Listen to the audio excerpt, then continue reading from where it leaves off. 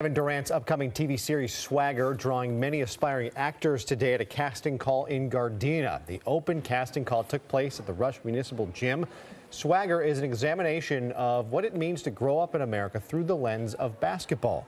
The plot focuses on players, their families, and coaches who walk the fine line between dreams and ambition and opportunism and corruption. Casting director Debbie DeLisi says that they're not necessarily looking for actors, just kids with passion.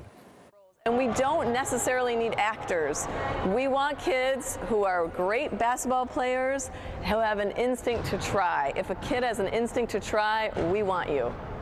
The casting call was free and open to the public. DeLisi tells those interested not to worry if they miss today's event because there will be several more across the nation coming up.